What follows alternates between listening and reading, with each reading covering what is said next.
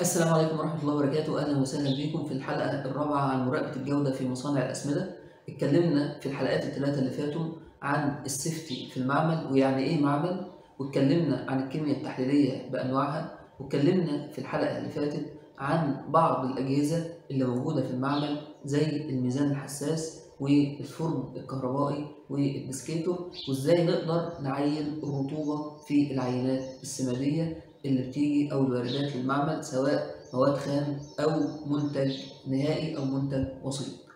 لكن السؤال هنا العينة إزاي إحنا جبناها وإزاي وصلت للمعمل؟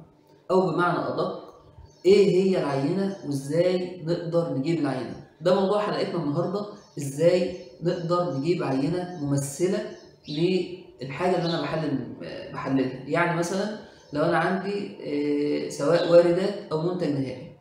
أنا شاري منتجات كمواد خام. المواد الخام دي اللي أنا بستخدمها في العملية الصناعية.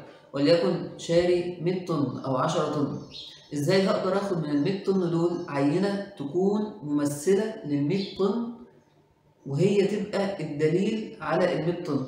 وبناء على العينة دي هقدر أحسب الحسابات بتاعتي اللي هبدأ أصنع بيها. ده موضوع حلقتنا النهارده.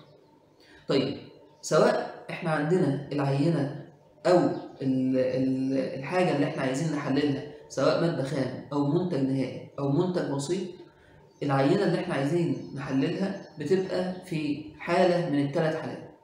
إما عينة غازية وإما عينة سائلة وإما عينة صلبة. أول حاجة العينة الغازية. عينة غازية يعني غاز غاز مضغوط بيكون معبأ في اسطوانة. هل ده بيتحلل؟ طبعا بيتحلل. طيب العينات اللي ممكن تكون عينات غازية وبستخدمها في العملية الإنتاجية عندي؟ حاجة من الاثنين أو ليها أكتر من نوع ممكن تكون غاز الأمونيا ممكن تكون غاز النيتروجين غاز الأكسجين. أي نوع من أنواع الغازات اللي أنا بستخدمها في العملية الصناعية. طيب أنا عشان أجيب عينة غازية طبعا بيبقى ليها بلادر أو الحاجة اللي أنا باخد فيها العينة بتبقى عاملة زي البالونة كده أو بيبقى حاجة زجاجية كده بقدر أسحب بيها العينة. مش هو ده موضوعنا لكن الموضوع إزاي أحصل على عينة ممثلة. بالنسبة للعينات الغازية دي أسهل حاجة إن أنا أحصل فيها على عينة ممثلة إن أنا بمجرد ما بسحب العينة لأن هو غاز الغاز كله مختلط ببعضه.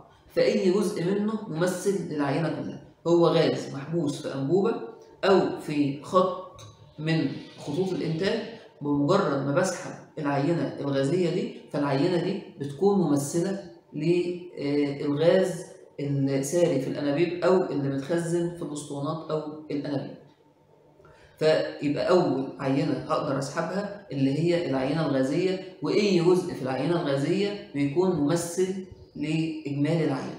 سواء بقى العينة دي تانك كبير على العربية زي اللي إحنا بنشوفها العربيات اللي هي بتاعت الأكسجين في منها عربيات الأمونيا أيا كان فالعينة الغازية أي جزء منها بيكون ممثل للعينة كلها. تاني نوع من أنواع العينات وهو العينات السائلة. كل ما بننتقل من حالة لحالة بتزداد الصعوبة شوية. العينة الغازية أي جزء منها ممثل العينة. العينة السائلة. العينة السائلة المفروض برضو إن أي جزء منها بيكون ممثل للعينة كلها لأنه هو سائل مخلوط في بعضه. لكن في بعض الأحيان ما بيكونش ممثل لبعضه إزاي؟ لو أنا آه مثلا بقوم بعملية إنتاجية وبنتج والإنتاج كله بيتجمع في تانك واحد أو في خزان واحد.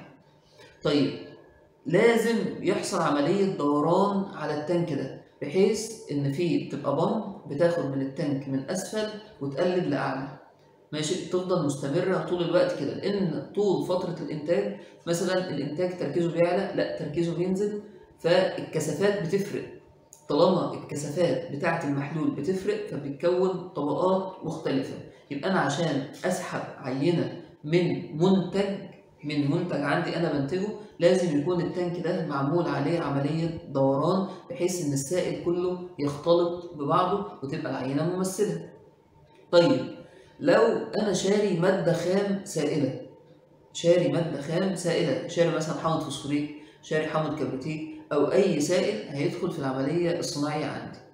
طالما السائل اتنقل في تنكات واتنقل من مكان لمكان فهو بنسبة كبيرة جدا هيكون اتخلط طول السكة أو طول المشوار بتاعه من مكان إنتاجه لحد المكان أو المصنع اللي أنا شاريه. فيبقى كل أو أي جزء في العينة هيكون ممثل للعينة. يبقى كده لو أنا شاري تنكات آه، من حامض أو من أي مادة سائلة يبقى جزء من أي جزء من ال- من السائل ده هيكون ممثل للعينة. يعني أنا شاري مثلا عندي عربية فيها 25 طن حامض فوسفوريت أو 25 طن حامض كبريتيك أيا ما كان أي جزء هاخده من العينة بمجرد ما هحلله ده هيكون ممثل للعينة كلها. نيجي للمشكلة اللي عندنا وهي في العينات الصلبة. العينات الصلبة سواء بقت مواد خام أو منتج نهائي، لو هي مواد خام داخلة عندي فالمواد الخام دي بتتقسم لنوعين. مواد خام جاية من محاجر ومواد خام مصنعة. مواد خام جاية من محاجر زي مثلا أكسيد مغنيسيوم، زي مثلا حجر جيري، زي مثلا جير مطفي زي أي دولوميت أي مواد خام جاية من محجر فدي طريقة التحليل بتاعها آه، بتبقى نوعين. هل هي جاية صب يعني عربية كاملة كده؟ فالعربية الكاملة دي كلها مليانة المادة الخام بتاعتي أو متعبية في شكاير لو هي العربية جاية كلها مادة خام صب مش في شكاير أو في حاجة وهتقلب تمام؟ فانا عشان أجيب عينة فبجيب عينة من اماكن متفرقه من العربية. بجيب من فوق بجيب من تحت بجيب من النص بجيب من اليمين بجيب من الشمال. بجيب والعينة مثلا لو هي بتبقى يعني مش بجيب عينات كميات بسيطة أنا باجي أبص في الآخر ألاقي العينة ممكن توصل ل 20 كيلو. تمام؟ ودي اسمها عينة. طب أنا هعمل إيه بال 20 كيلو دول كلهم؟ ده اللي إحنا هنشوفه دلوقتي. أو بتكون العينة مش من محاجر ولكن من مواد مصنعة. يعني مثلا أنا جايب آه، كبريتات بوتاسيوم أو جايب هيدروكسيد بوتاسيوم أو جايب أي مادة خام تم تصنيعها أو خارجة من مصنع ولكن أنا هستخدمها عندي كمادة خام لسه هعمل عليها عمليات تصنيع. فدي بيكون مكتوب عليها حاجة كده اسمها batch number رقم التشغيلة أو آه، تاريخ التصنيع بتاعها. فهاجي أشوف ال- اللي وارد عندي الشكاير اللي موجودة دي كلها هل ليها batch number واحد أو أكتر من batch number فلو هي ليها batch number واحد خلاص يبقى هناخد من أي شكارة أو من أي ثلاث أربع شكاير وهناخد هتبقى دي العينة الممثلة لأن هم batch number دول يعني الكمية دي كلها اتصنعت في وقت واحد في مكان واحد في في ظروف واحدة فبتبقى التحاليل بتاعتها كلها قريبة من بعضها. لكن لو أنا جاي لي مثلا كمية وليكن 100 طن أو 200 طن فهلاقي مثلا ليهم ثلاث باتشات أو باتشتين ليهم دي لها batch number ودي لها batch number يبقى هناخد دي عينة وهناخد دي عينة تانية. طيب هنجمع العينات. بعد ما هنجمع العينات بتاعتنا إحنا بنتكلم في الكلام ده ممكن يكون الكلام ده واضح للناس كلها. لكن تفاصيل الكلام ده بيفرق جدا في التحليل. أنا مش هيفرق معايا الدقة في تحليل المعمل ويكون المعمل تحليله دقيق جدا ومستخدم أحدث الأجهزة وأحدث الأدوات وجايب أشطر الكيميائيين عشان يحللهم وفي الآخر هو جايب عينة غلط. لو أنت جايب عينة غلط والعينة دي مش ممثلة لكمية الشحنة اللي عندك سواء مواد خام أو مواد منتج نهائي فدي هتعمل لي خلل كبير جدا وهتعمل لي خطأ في عملية التشغيل.